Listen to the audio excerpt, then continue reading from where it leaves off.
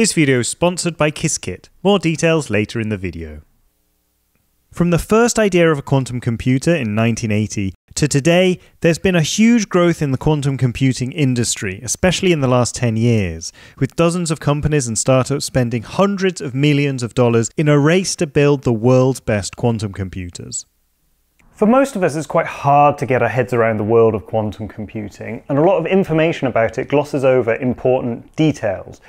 This video aims to clear all this up, and if you watch the whole thing, you'll have a very good overview of the different kinds of quantum computing, how they work, and why so many people are investing in the quantum computing industry.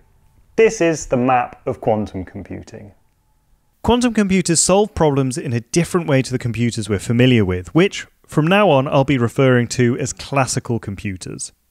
Quantum computers have certain advantages over normal computers for certain problems, which comes from their ability to be in a huge number of states at the same time, whereas classical computers can only be in one state at a time. To understand this and to understand how quantum computers work, you need to understand three things superposition, entanglement, and interference. The building blocks of a classical computer are called bits, and the building blocks of a quantum computer are called quantum bits, or qubits for short, and they work in fundamentally different ways.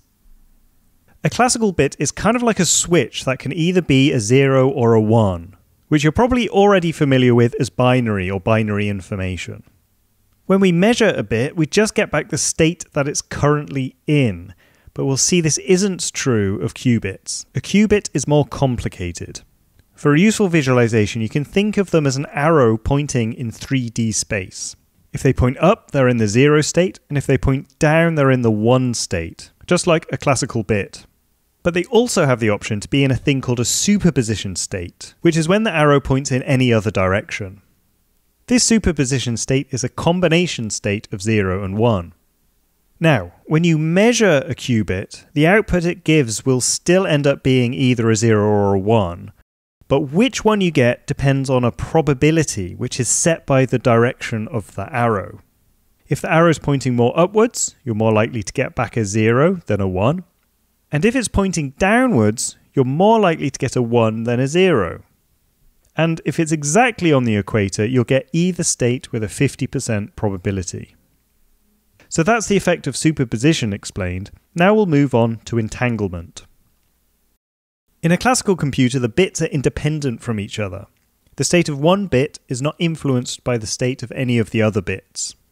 But in quantum computers, the qubits can be entangled with each other, which means they become part of one large quantum state together. For an example, let's look at two qubits which are each in different superposition states, but aren't entangled yet. You can see the probabilities next to them, and these probabilities are currently independent of each other. But when we entangle them, we have to throw away those independent probabilities and calculate a probability distribution of all the possible states we can get out either 00, 0, 1, 1 0, or 1 1. The important point here is because the qubits are entangled, if you change the direction of the arrow on one qubit, it changes the probability distribution for the whole system. So the qubits are no longer independent of each other, they are all part of the same large state. And this is true no matter how many qubits you have. You'll also note that for one qubit, you've got a probability distribution over two states. For two qubits, you've got a probability distribution over four states. For three qubits, you've got a distribution over eight states and this keeps on doubling each time you add another qubit. In general, a quantum computer of n qubits can be in a combination of 2 to the power of n states. So I'd say that this is the core difference between classical computers and quantum computers. Classical computers can be in any state you want, but can only be in one state at a time. Whereas quantum computers can be in a superposition of all of those states at the same time. But you may wonder how being in this superposition state can be useful in a computer. Well, for that we need the final component, interference. To explain the effect of interference, we need to go back and look at my picture of a qubit, technically called a Bloch sphere. Now, a qubit doesn't actually look like this. This is just a really nice way of visualizing the state of a qubit. In reality, the state of a qubit is described by a more abstract entity known as a quantum wave function. Wave functions are the fundamental mathematical description of everything in quantum mechanics, which I've described in more detail in a previous video. When you've got many qubits entangled together, all of their wave functions are added together into an overall wave function describing the state of the quantum computer. This adding together of wave functions is the interference, because just like with, say, ripples of water, when we add waves together, they can constructively interfere and add together to make a bigger wave, or destructively interfere to cancel each other out. The overall wave function of the quantum computer is what sets the different probabilities of the different states. And by changing the states of different qubits, we can change the probabilities that different states will come out when we measure the quantum computer. Remember that even though the quantum computer can be in a superposition of millions of states at the same time, when we measure it, we only get a single state out. So when you're using a quantum computer to solve a computation problem, you need to use constructive interference to increase the probability of the correct answer, and use destructive interference to decrease the probabilities of the incorrect answers, so that when you measure it, the correct answer will come out. Now, how you do this is in the realm of quantum algorithms. And the whole motivation behind quantum computers is that theoretically there are a bunch of problems that you can solve on a quantum computer that are thought to be intractable on classical computers. So let's take a look at them. There are many quantum algorithms, too many to describe in this video, so we'll just focus on the most famous and historically important, Shor's algorithm.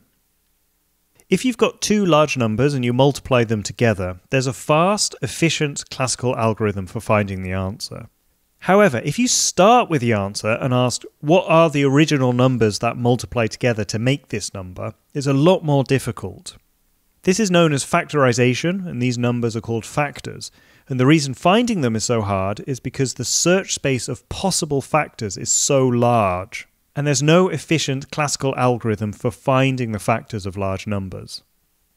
For this reason, we use this mathematical property for internet encryption, secure websites, emails, and bank accounts. If you know these factors, you can easily decrypt and view the information.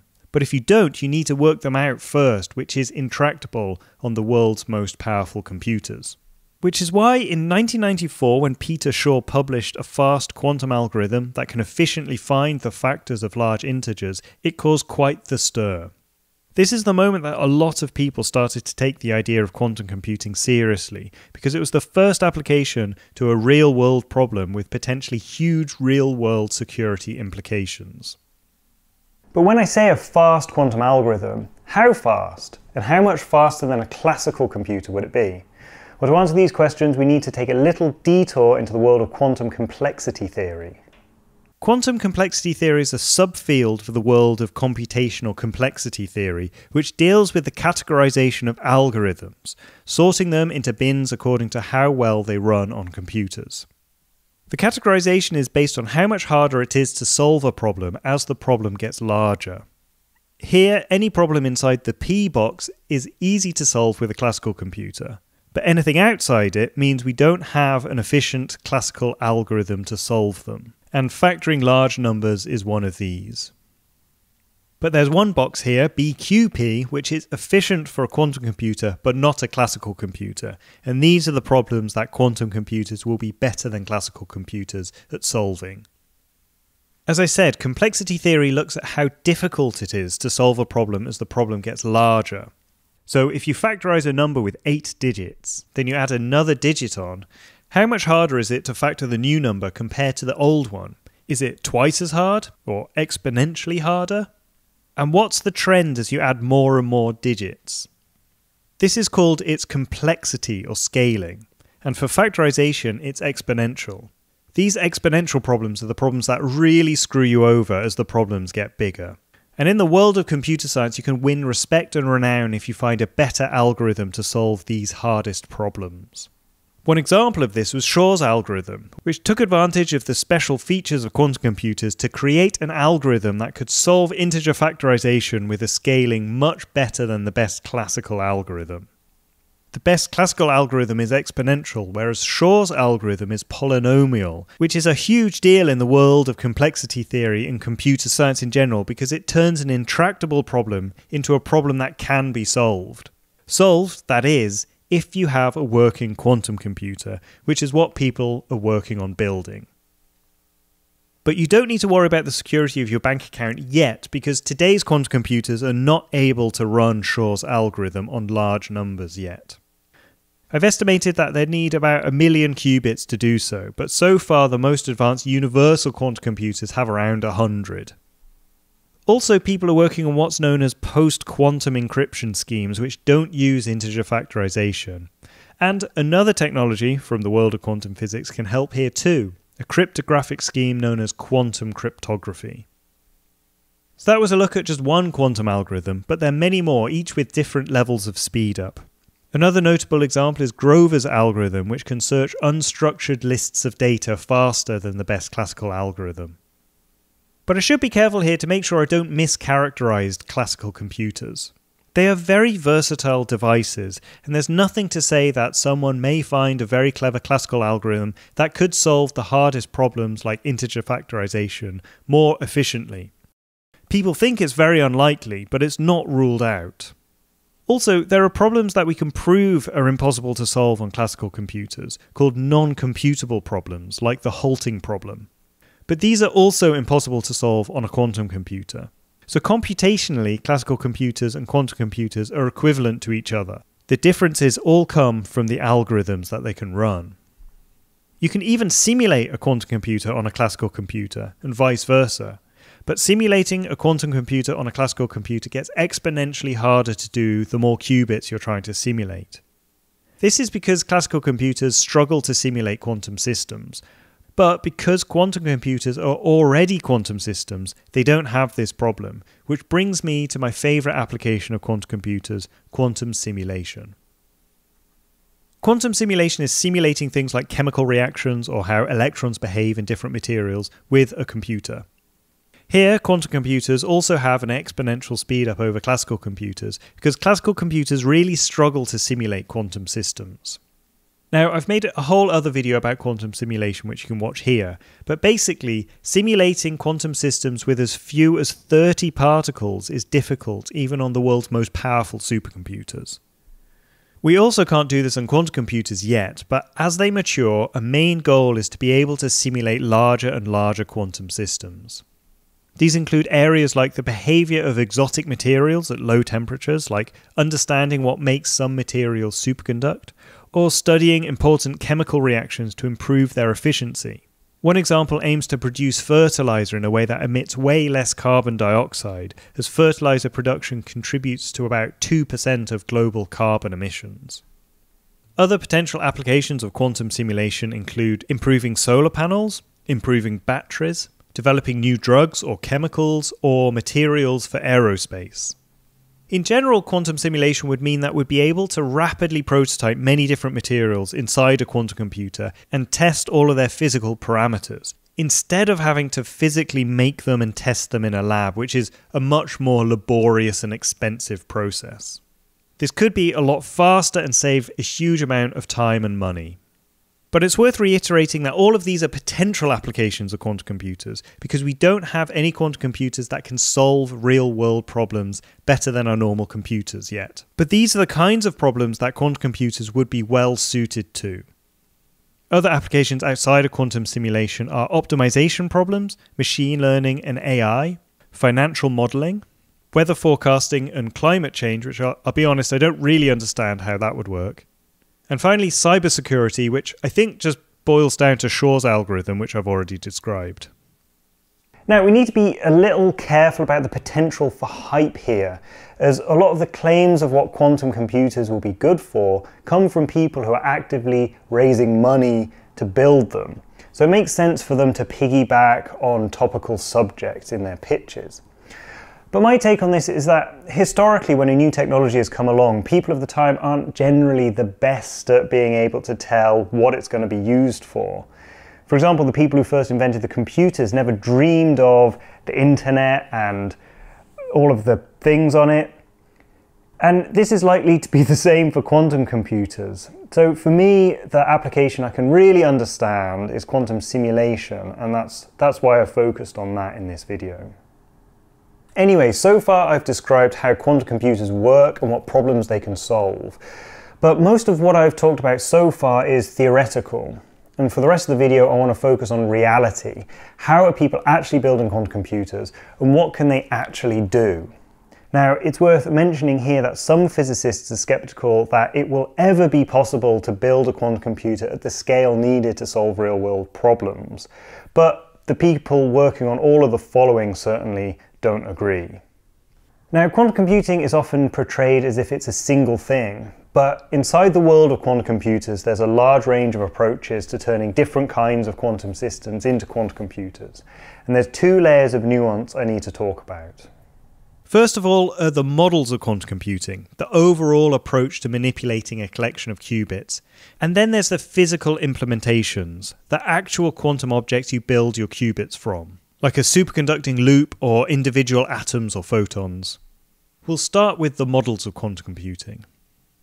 It's interesting that there are different models of quantum computing because this isn't something we see with classical computers.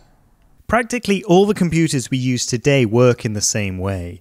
They have a bunch of bits holding the binary information of ones and zeros, and we can do operations on those bits using logical gates, which are basically simple operations that flip a bit, called a NOT gate, or compare bits, like, for example, giving you a 1 if both input bits are 0, or a 0 if they're anything else. This is called a NOR gate. Interestingly, you can build a full general purpose computer from just bits and NOR gates. In quantum computing, there's a similar model to this called the circuit model or gate model, which is the most popular approach and the most understood model in quantum computing.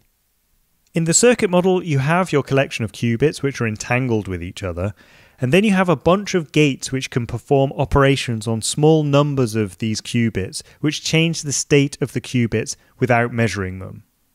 A quantum algorithm is built from a sequence of gates applied to the qubits in a certain order, and then a measurement at the end, which is where you get your final state and is hopefully the answer to the problem you're trying to solve. Simplistically, you can think of these gates as operations on the qubits that rotate the arrows to point in different directions. And these operations change the probability of the final state of each qubit when it's finally measured. Now, there's more to this which I don't have time to explain here, but if you want to learn more about them and do some quantum computing yourself, I highly recommend the educational website and YouTube channel called Qiskit. They're very kindly sponsoring this video, and honestly, they're the best resource for people who want to learn more about quantum computing and get some actual hands on experience. Basically, Qiskit is a software framework funded by IBM to make it easier for people to get into the world of quantum computing. Everything there is free to access and all the code is open source. And there's an online textbook which teaches you all of the basics. So if you don't have a quantum physics background, that's not a problem at all. You can learn everything you need there. Their Qiskit YouTube channel is also full of excellent tutorials and lectures. I'll link to all of this below. And in terms of quantum algorithms, you can run through examples of quantum circuits using their online tools. And if you want to run your own quantum programs, you can download their open source SDK and run them on IBM hardware, either on classical simulators of quantum computers or on actual real world quantum computers, all for free. Also, the SDK is not only tied to IBM hardware. I used to work at another quantum computer company called D Wave, and there's an interface to their computers as well in the SDK if you want to learn about their approach called quantum annealing. And many other companies are available too. Personally, I've been using their website to learn gate model quantum computing deeper because my background's in quantum annealing, and I'm super happy that this educational resource exists and is free to use. So please check that out if you want to dig deeper. Finally, I just want to state that I've had complete editorial control over the content in this video, and my goal is always to be as objective as I can. I just want to make sure you know that Qiskit is funded by IBM, who are building quantum computers, and I used to work for D-Wave, who are also making other kinds of quantum computers, just for transparency so you know everyone's backgrounds. Right, back to the models of quantum computing. We've already looked at the circuit model, but closely related to it is measurement based or one way quantum computing, which involves setting up an initial entangled state and then measuring qubits one by one during the computation. And mathematically, this has been shown to be equivalent to the circuit model. Now let's look at the models I'm most familiar with adiabatic quantum computing and quantum annealing. Adiabatic quantum computing works in a very different way to the circuit model. In adiabatic quantum computing, you're taking advantage of one of the fundamental behaviors in physics the fact that every system in physics always moves towards the minimum energy state. This is a very general principle, and adiabatic quantum computing takes advantage of this by posing the problems you want solved in such a way so that the minimum energy state of the quantum system is the answer to the problem. You can picture this as an energy landscape, where each point on the landscape is one of the potential outputs of the computer. In adiabatic quantum computing, you start off with a flat landscape and gradually introduce the energy landscape of your problem, where the answer to your problem is the lowest position on the map.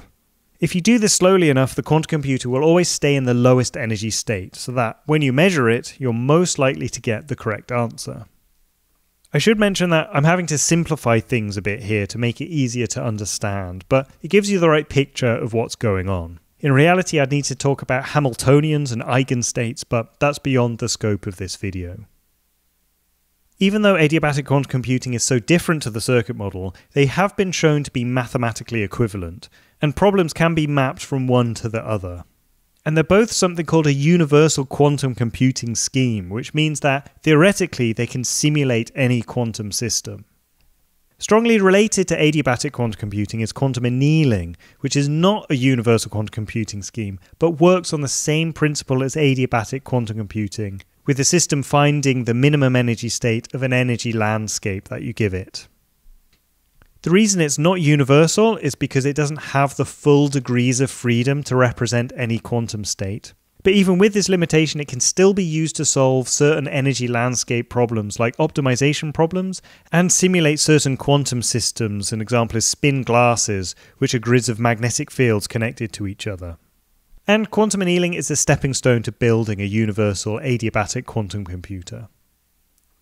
The last model we're going to look at is called topological quantum computing, which is currently the most theoretical model of quantum computing because it builds its qubits from an entity in physics called a Majorana zero mode quasiparticle, which is a type of non abelian anyon. which is a bit of a mouthful and obviously quite confusing. But the, the important term here is a quasiparticle. Quasiparticles aren't fundamental particles like atoms or electrons or photons. Quasiparticles are created from the collected behavior of many particles together, and end up having particle like properties despite not being actually real. The clearest example of this is an electron hole. If you have a grid of electrons with a gap in the middle, as the electrons fill in the gap, it looks like this hole moves in the opposite direction. This hole isn't real, it's just a hole, but you can treat it like a particle with particle like properties. In condensed matter physics, there are a large range of different kinds of quasiparticle, and a Majorana zero mode quasiparticle is an entity that's been theoretically predicted, but there's still significant debate over whether they've actually been experimentally observed or not. Now, the reason why physicists are excited about this model is because these quasiparticles are predicted to be a lot more stable than other qubits, because they're made from parts which are physically separated from each other. This is good because the main source of failure in a quantum computer is noise, which comes from rogue forms of energy creeping into the quantum computer, making the qubits drift away from where they should be and causing errors. But these quasiparticles are special because they're protected from the noise by an energy gap. Basically, what this means is it takes a certain amount of energy to bring the parts of a Majorana particle back together. So, any perturbations of noise which have a lower energy than that energy gap is not felt by the quasiparticle. This might have been a bit confusing, but that's okay. I'm still getting my head around them too, but that's the best boiled down description I could come up with. Okay, so that rounds up the different models of quantum computation.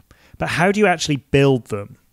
There are a huge range of different physical implementations of quantum computers because there's so many different quantum systems that you could potentially build them from.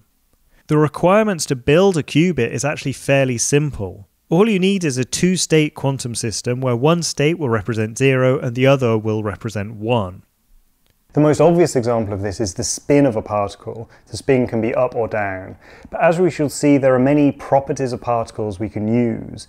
In fact, there are too many for me to list them all, so I'm just going to focus on the implementations that are the most widely used and have been the most successful so far.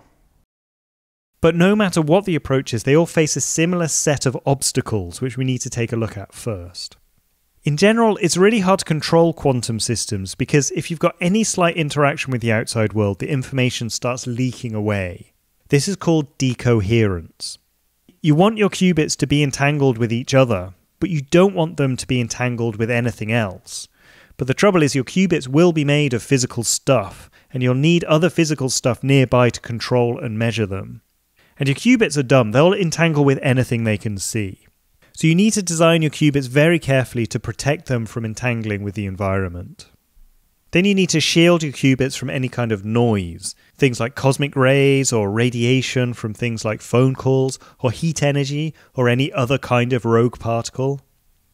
Unfortunately, some amount of decoherence and noise is inevitable in any physical system and is impossible to eliminate completely. And it gets worse the more qubits you have entangled with each other. This is the big open question still hanging over the whole field of quantum computing. Is it ever possible to make a working quantum computer with a large number of qubits, or will decoherence and noise ruin everything? There are strong opinions on both sides, and I guess we won't know for sure until we actually build them. One plan to deal with decoherence and noise is quantum error correction. This is an error correction scheme to make fault tolerant quantum computers by using many entangled qubits together to represent one noise free qubit. How many you need to group together depends on how good the qubits are, but estimates are in the range of 100 to 1000 physical qubits to make one fault tolerant qubit, which is a lot of qubits. And this brings us to another major obstacle scalability. For each qubit, you need to have a bunch of wires to manipulate and measure it. For a small number of qubits, this is all manageable, but as the number of qubits increases, the amounts of extra stuff you need increases linearly, which is a massive engineering problem. So any quantum computer design needs to somehow be able to entangle all of the qubits and then control and measure them in a scalable way. So those are all the problems with building a real quantum computer. Let's now take a look at the different approaches scientists are pursuing. Superconducting quantum computers are currently the most popular approach. A superconducting qubit is made from superconducting wires with a break in the superconductor called a Josephson junction. The most popular type of superconducting qubit is called a transmon, where the two energy level system is encoded in pairs of the electric charge moving across the junction, specifically the frequency at which charges oscillate back and forth across the junction. But there have been other designs that use the magnetic flux in a loop of wire or the phase across a wire as the two level system, known as a flux qubit or a phase qubit. Physicists have also looked at ways of making qubits out of fundamental entities like atoms or electrons or photons. Next are quantum dot quantum computers or silicon spin quantum computers. Here I'm using quantum dot quantum computers to collect together a range of qubit designs built from semiconductors, things like silicon. Here the qubits are made from electrons or even groups of electrons, and the two level system is encoded into the spin or charge of the electrons. On the chip, there's a small area where the electron is restricted to, and this is called a quantum dot. And operations on the qubits are performed through voltages on the chip or microwaves or magnetic fields. As well as silicon, people have also used other semiconducting materials like gallium arsenide, silicon carbide, and also diamond, amongst others, and these have all got different properties. Next, we have linear optical quantum computing. Optical quantum computers use photons of light as the qubits, and they operate on these qubits using optical elements like mirrors, wave plates, and interferometers. At scale, this has been accomplished by printing these elements into integrated photonics chips. The two level system in an optical quantum computer can have different designs. Either a superposition of different paths a single photon takes through the chip, or a superposition of different numbers of photons present in a path. And these can be manipulated by applying a voltage to a path. Now onto trapped ion quantum computers, which use charged atoms as the qubits. These atoms are ionized, having a missing electron, which makes them electrically charged and means that they can be levitated and moved about with electromagnetic fields. Here, the two level state that encodes the qubits are two specific energy levels of the atom, which can be manipulated or measured with microwaves or laser beams. Next, we have color center or nitrogen vacancy quantum computers, which is similar to trapped ion quantum computers in that the qubits are made from atoms. But instead of being trapped in an electromagnetic field, they're embedded in a gap of the material, like nitrogen embedded in diamond or silicon carbide. There are a few different ways to make these, but typically the qubits are the nuclear spins of the embedded atoms, and they're entangled together with electrons. The final approach is called neutral atoms in optical lattices. In this approach, the qubits are atoms, and the design uses cold atom physics, capturing neutral atoms like cesium into an optical lattice, which is a crisscrossed arrangement of laser beams, which form energy wells shaped kind of like an egg box. These atoms are cooled down with lasers to a few millionths of a Kelvin, and there's a number of ways to encode the two level system the qubit's built from either the hyperfine energy level of the atom or excited states, and they can also make use of Rydberg atoms. And the atoms can be controlled and entangled with each other with lasers. They can also be used as quantum simulators as well as quantum computers. In fact, a 10,000 atom quantum simulator has been made, but this doesn't look like a universal quantum computer. These are the main approaches I'm going to cover in this video, but it's not an exhaustive list. Some other qubit designs include electron on helium qubits, cavity quantum electrodynamics, magnetic molecules or molecular spins, and NMR quantum computers. But these haven't been built at the same scale as the other approaches I mentioned in more detail. So that was the map of quantum computing, and that should give you an excellent overview of the field. As you can see, there are many different approaches to building a quantum computer, and what's so interesting is that it's not yet clear which approach will win out in the long run. Now one thing I haven't covered in this video are the companies and startups and which approach they're using along with their current best quantum computers and their roadmaps into the future. But this is what I'll look at in the next video, so keep your eyes peeled for that. You don't need to subscribe or anything, but check back in a couple of weeks if you think you'd be interested. And like all of my maps, this map of quantum computing is available to buy at my store, dosmaps.com, or to download as a digital image for educational purposes. Links to all of that in the description below. Quick note though, due to logistics, we can only get the map of quantum computing to you after the holidays, but everything else in my store is ready to go. We also have many educational posters and a range of engaging kids' books about science called Professor Astrocat. So if you're looking for some gifts that will help your loved ones learn about science, check that out. dosmaps.com. Finally, a massive thank you to all of my Patreon supporters. As you can probably tell, I put a huge amount of work into these map videos, and the support on Patreon is invaluable. Thank you, and I'll see you soon.